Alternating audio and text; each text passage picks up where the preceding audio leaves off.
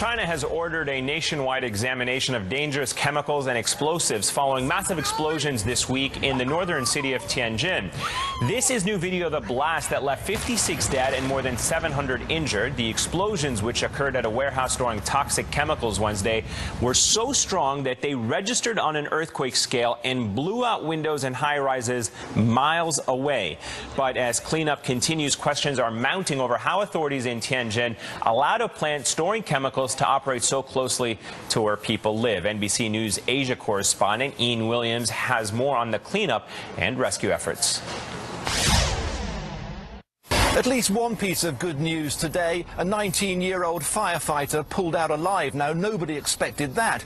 At the same time, a team of biochemical specialists has arrived, while with officials admitting that they don't really know precisely what deadly toxins they're dealing with. The fire raged on this morning, thick black smoke billowing into the Tianjin sky.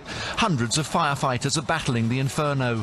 Today, pulling out alive one of their colleagues, treated in a nearby hospital. More than 20 firefighters died in the blast, and 13 are still missing. Officials say firefighters themselves may have triggered the blasts by hosing water on an initial fire in a warehouse containing the volatile chemical calcium carbide.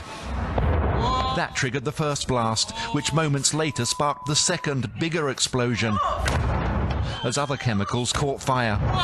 Captured in this cell phone video, shot by American Dan Van Duren. He continued to film until it became too terrifying. Let's go! Let's go down!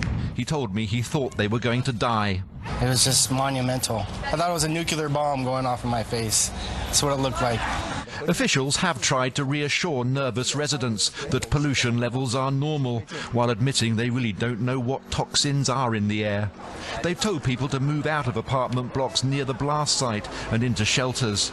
Local hospitals have been overwhelmed. The police have now cordoned off the blast area, which now resembles a post-apocalyptic wasteland. A local clock, frozen in time, marking the deadly moment this city will never forget. This is a city in shock after the explosion, but also one in fear as residents look at this smoke and wonder precisely what it is they're breathing. Ian Williams, NBC News, Tianjin. NBC's Ian Williams there. Thank you, Ian. Coming